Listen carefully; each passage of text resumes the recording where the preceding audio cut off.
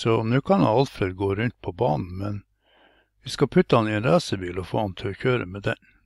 Så jeg er litt plaga her når jeg gjør opptak med å få ting til å stemme helt.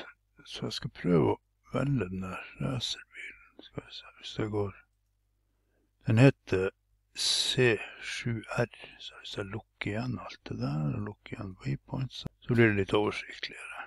Sånn, så kan jeg move bilen bort til der hvor han Alfred er, fordi Nei, hva det her er? Ja, la den stå der.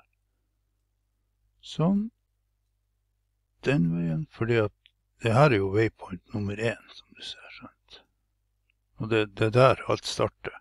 Hvis ikke så kan ikke bilen kjøre riktig. Så det første vi skal gjøre, det er å putte han Alfred i bilen. Så ikke få panikk nå, men jeg tar og klipper han ut. Kan høyreklikk, cut, eller bare trykk kontroll X på tastaturet. Blir han borte, så går vi til bilen. Velg den, gå inn i bilen, høyreklikk oppå der, og passed into. Da havner han Alfred inn i bilen, sånn at hvis jeg flytter på bilen nå, så følger han Alfred med bilen. Men jeg skal jo plassere han rett inni der. Så jeg går inn der. Så går jeg til Alfred, og så prøver jeg å zoome litt inn her. Ja, det var litt mye. Og så får vi han ned. Han må ikke være borti bakken, da. Sånn. Og han bestemmer jo da styringa av bilen. Så du kan jo godt gjøre han så liten som du vil, eller også usynlig hvis du vil. Men for å smelte sammen han Alfred og bilen, sånn at skriptet til han Alfred virker, i, virker som om han kjører bilen, så går du til Alfred her, og så utvider du den. Og så går du ned til den nederste av de her, som heter Humanoid Root Part. Og der skal vi legge til noe. Vi tar insert Nei, ikke på den. Det skal bare være på Tror det er på humanoiden. Nei, hvor er det?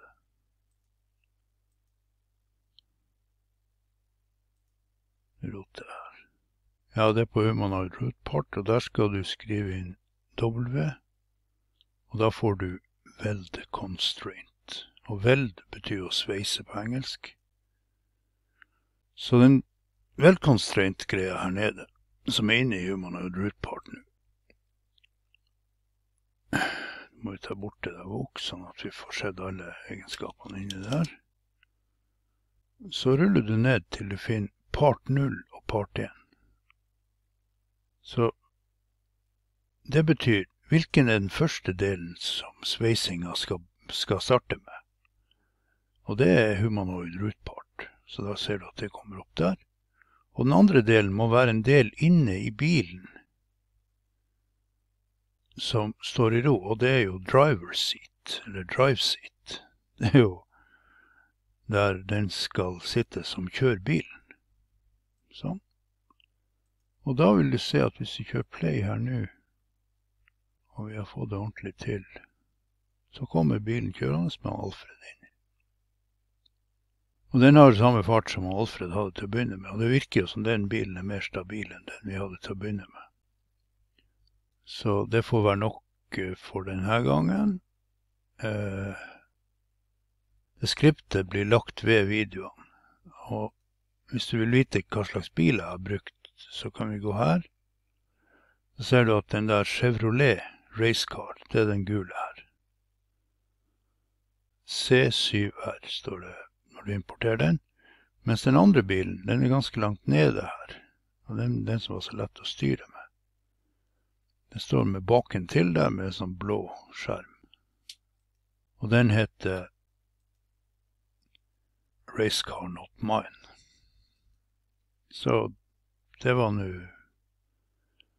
litt om å lage et racerbilspill. Nå kan jo ikke han eh, hovedpersonen vår, altså vi sjøl, kjøre noe bil, fordi ingen av bilene er kjørbare.